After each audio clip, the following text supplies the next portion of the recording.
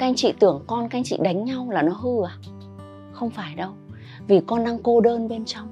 Không ai ghi nhận con cả, nên con đánh nhau để thể hiện sức mạnh để người khác phải ghi nhận. Các anh chị nghĩ con các anh chị chơi game nó đang vui à? Không đâu. Có thể nó buồn, hay có thể nó đã cố thể hiện thành tích học tập, nhưng không làm được như ý các anh chị muốn. Và rồi nó buông, và rồi con nó chơi game. Các anh chị à bây giờ mình đã hiểu điều này chưa? Nó giống như khi các anh chị buồn ấy. Các anh chị chả muốn làm gì, các anh chị lên giường đi ngủ ấy. Không muốn làm gì cả, vùi đầu vào đi ngủ thôi. Các anh chị buồn, các anh chị chả biết làm gì cả, các anh chị bật nhạc lên nghe. Bật tivi lên xem. Thế thôi.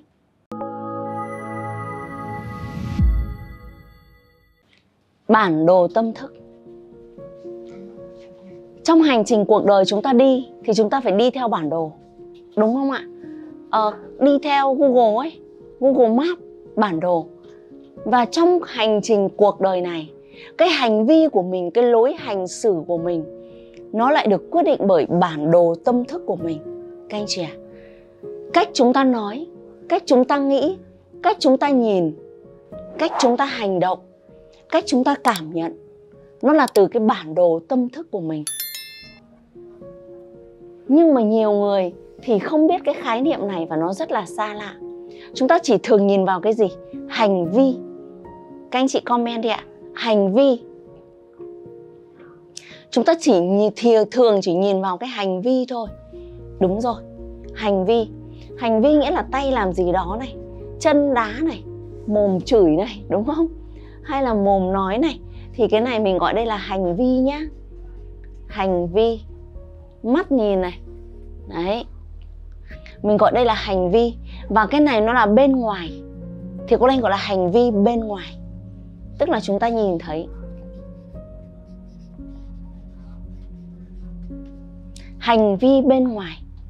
Và các anh chị có đồng ý với cô Lanh rằng rất nhiều hành vi bên ngoài của con mà làm mình khó chịu không? Bạn thường khó chịu với hành vi nào của con? Comment cho cô Lanh biết đi. Bạn thường khó chịu với hành vi nào của con?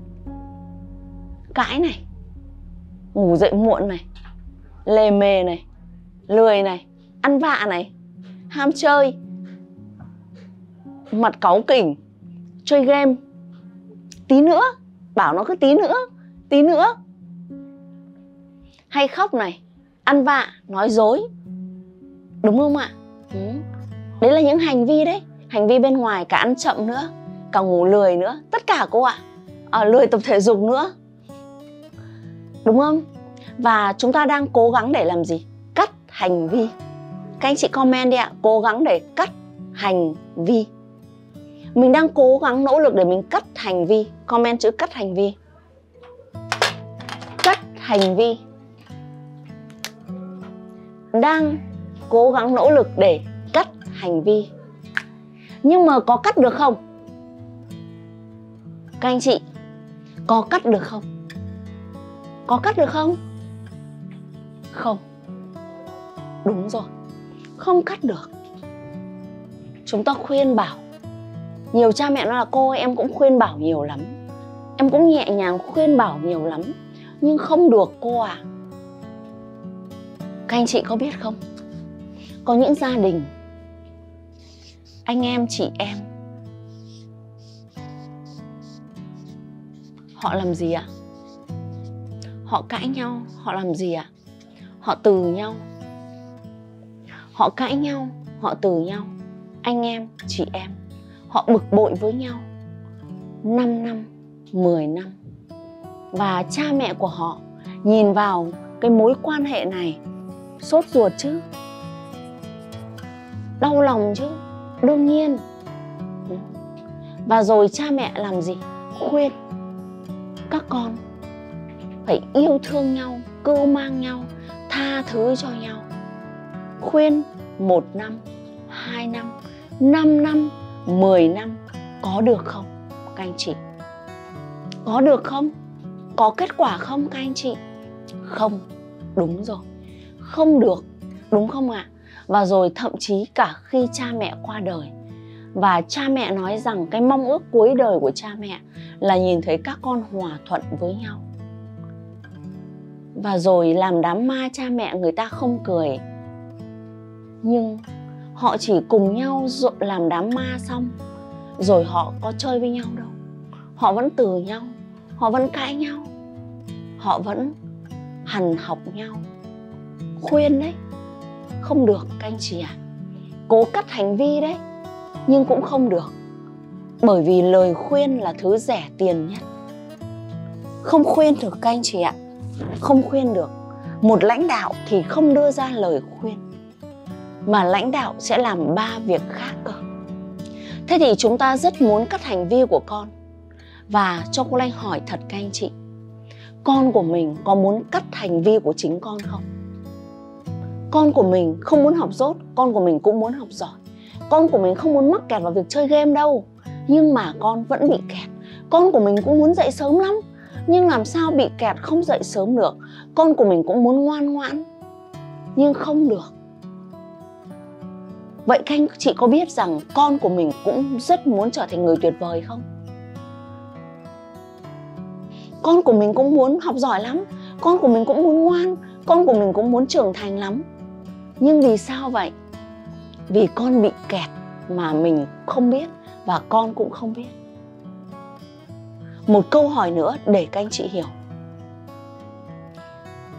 Có khi nào các anh chị không thích chính hành vi của mình không? Trả lời đi, các anh chị. Có khi nào các anh chị không thích chính cái hành vi của các anh chị không? Hả? Không thích chính mình ấy. Có đúng không? Các anh chị thường không thích chính mình ở hành vi nào vậy?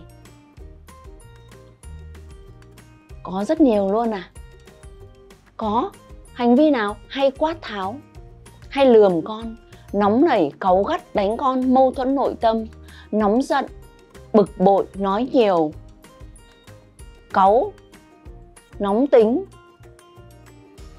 sân si vô cớ, quát tháo, chửi con, bực thì nói nhiều, không kiên trì với con, mắng con khó chịu thấy chưa? Các anh chị có thấy không?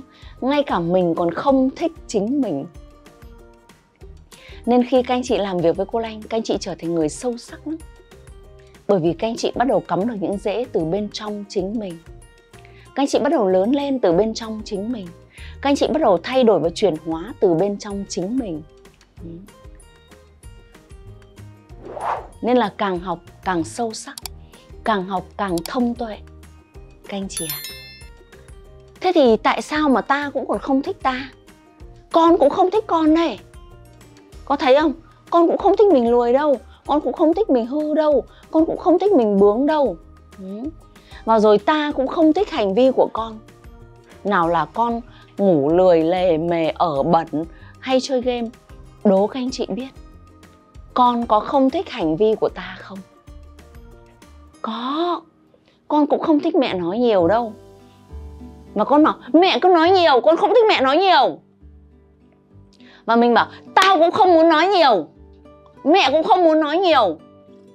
Nhưng mà bởi vì mày hư nên là mẹ phải nói nhiều. Các anh chị có thấy không? Trong những mối quan hệ, ta, mối quan hệ giữa mình với mình mình không thích mình. Mối quan hệ giữa con với chính con con không thích con mối quan hệ với ta với con, ta không thích nhiều hành vi ở con. Và mối quan hệ giữa ta với con thì con cũng không thích nhiều hành vi ở ta. Và rồi cứ kẹt nhau á. Nên là chúng ta đào cái hố. Vô tình đào cái hố sâu thật là sâu. Giữa ta với con của ta. Giữa ta với chồng của ta. Giữa ta với vợ của ta. Mà ta không biết vì sao bởi vì cái gốc của gốc của gốc của cái hành vi này là do hai yếu tố quyết định mà chúng ta không biết. Các anh chị, yếu tố thứ nhất, đây chính là lập trình trong. Lập trình trong hay gọi là hệ tư duy. Lập trình ở bên trong tâm thức của mình. Hay đây cô Lanh gọi là bản đồ tâm thức. Ừ. Nó chính là cái bản đồ bên trong các anh chị. Và nó điều khiển nên cái hành vi bên ngoài. Lập trình bên trong. Đúng rồi. Và một cái nữa. Trái tim bị vụn vỡ.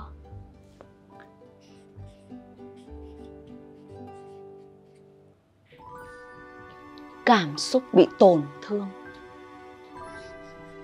Nhiều lúc con muốn thể hiện mình, nhiều lúc con muốn thể hiện cảm xúc, nhưng hầu như cha mẹ không quan tâm đến cảm xúc của con, chỉ quan tâm đến việc con ăn gì, con học được mấy điểm, mà không quan tâm đến việc con buồn, con vui, con giận hờn, quên mất cái điều đấy của con. Và rồi ta bận cãi nhau với chồng. Ta bận tức chồng vì chồng phản bội mình ta bận cãi nhau với chồng, bởi vì chồng không tôn trọng mình. Ta còn đang bấn loạn với nỗi đau của ta, sự bực bội của ta. Nên ta quên mất việc quan tâm đến con của mình. Bởi vì cái trái tim ta cũng vụn vỡ, cảm xúc của ta cũng bị tổn thương. Ta cũng buồn, ta cũng cô đơn, ta cũng giận dữ. Nên ta cũng quên mất cảm xúc của con mình. Ta còn đau với mẹ chồng ta ta còn đang đau với mẹ chồng của ta, nên ta quên mất cảm xúc của con mình. Và rồi con của mình dần dần cũng bị vụn vỡ, và cảm xúc của con cũng bị tổn thương. Thế thì các anh chị thử tưởng tượng, một tâm hồn vụn vỡ, một tư duy lệch lạc, làm sao có hành vi đúng đắn? Có chị nói rằng, cô ơi, con em, cứ có những hành vi nói dối suốt ngày nói dối cô ạ. À. các anh chị biết cốt ra vì sao không? Người mẹ hay cãi nhau với mẹ chồng. Và rồi, cứ mỗi khi đi ăn ngoài, thì về dặn con là, mẹ cấm nhá, không được kể cho bà là nhà mình đi ăn ngoài nhá. Phải nói nói bà, nói dối bà là đến nhà cậu thủy ăn nhớ chưa? Hay là đến nhà dì mai ăn nhớ chưa? Ừ. không được bảo là mẹ cho đi ăn nhà hàng. Phải nói dối là đến nhà cậu hoặc đến nhà dì ăn thì bà không nói được. Đấy. Rồi mua quần áo cho con, mua quần áo đẹp, quần áo xịn cho con. Thì về và bảo con là không được nói là mẹ mua nhé phải nói là cậu mua cho, phải nói là dì mua cho hay bà ngoại mua cho. Ừ. mẹ làm gì có tiền mà mẹ mua cho cả một đống cháu mẹ chỉ có tiền mua cho con thôi, nên là con phải nói như thế. Không sao bà suốt ngày bảo mẹ mày suốt ngày quần quần, áo áo. Bố mày thì đi làm mửa mặt ra, mẹ mày thì trăm đôi giày, lúc nào cũng quần quần, áo áo. Thế là rồi, điều gì xảy ra? Con của mình nó cứ lớn hơn mà nó nói dối. Ngày hôm qua cô lanh đã nói với các anh chị rằng, vô thức học không phải vì nó muốn học, mà vì nó ở đây nên nó cứ thẩm thấu thẩm thấu thẩm thấu thẩm thấu. Và đến một ngày nào đó, con nói dối như cuội, thì mình thắc mắc là không hiểu vì sao con của mình nói dối. Bởi vì tư duy bị lệch lạc, các anh chị ạ, không chuẩn. Cái lập trình bên trong bị bị giỏi mọt rồi, bị bị thối giữa rồi. Còn trái tim thì vụn vỡ. Thì làm gì có hành vi tốt?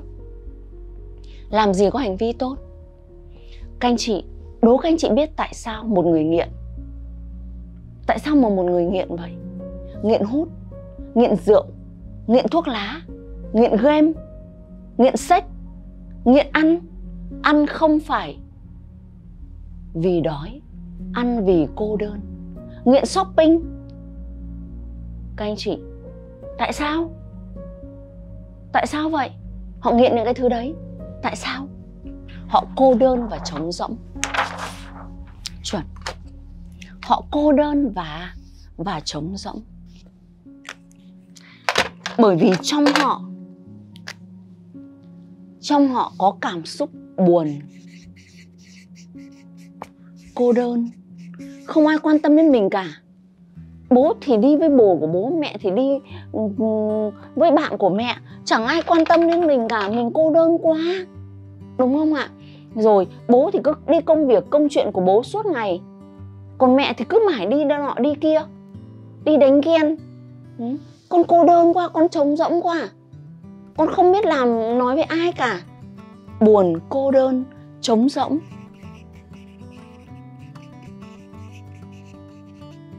Trống rỗng. Thế tại sao mà có những cái thứ này? Bởi vì bị chê bai. Bởi vì bị từ chối bị bỏ mặc. Chê bai từ chối bị bỏ mặc bị chỉ trích. Chỉ trích bị cô lập. Bị cô lập thì dẫn đến buồn cô đơn và trống rỗng. Và về mặt cơ thể thì cơ thể của chúng ta sẽ không muốn có những cảm xúc này. Và vì thế cơ thể của chúng ta muốn làm tê liệt tất cả những cảm xúc này. Các anh chị comment đi ạ. Nó muốn làm tê dại tất cả những cảm xúc này. Nó muốn làm liệt liệt tất cả những cảm xúc này. Nó muốn làm đông cứng tất cả những cảm xúc này. Đông cứng. Và để mà làm đông cứng tất cả cảm xúc này, chỉ có một cách. Họ dùng chất kích thích bên ngoài họ bắt đầu dùng những chất kích thích bên ngoài, như là rượu, thuốc lá, shopping, ăn. Buồn quá, gọi đứa bạn đi cà phê đi đi shopping đi. Shopping về vẫn buồn mà, đúng không ạ? Làm chùm rượu đi, để làm tê liệt cái cảm xúc cô đơn bên trong, cảm xúc trống rỗng bên trong, cảm xúc bị mọi người phủ nhận bên trong các anh chị ạ, hầu hết mọi người nhìn vào hành vi ngoài của người khác và muốn tiêu diệt nó. Nên các anh chị tưởng con các anh chị đánh nhau là nó hư à? Không phải đâu, vì con đang cô đơn bên trong. Không ai ghi nhận con cả, nên con đánh nhau để thể hiện sức mạnh để người khác phải ghi nhận. Các anh chị nghĩ con các anh chị chơi game nó đang vui à? Không đâu. Có thể nó buồn, hay có thể nó đã cố thể hiện thành tích học tập nhưng không làm được như ý các anh chị muốn. Và rồi nó buông. Và rồi con nó chơi game. Các anh chị ạ. À, bây giờ mình đã hiểu điều này chưa? Nó giống như khi các anh chị buồn ấy. Các anh chị chẳng muốn làm gì các anh chị lên giường đi ngủ ấy. Không muốn làm gì cả vùi đầu vào đi ngủ thôi. Các anh chị buồn các anh chị chẳng biết làm gì cả. Các anh chị bật nhạc lên nghe. Bật tivi lên xem. Thế thôi thế bây giờ đã biết vì sao mà con mình nó bị mắc kẹt ở trong cái cái vấn đề chưa? Các anh chị. Nếu bạn thấy video thật sự có giá trị, hãy bấm vào nút đăng ký, ấn vào hình quả chuông, chọn tất cả để mỗi khi cô lanh phát video, bạn sẽ là người đầu tiên nhận được.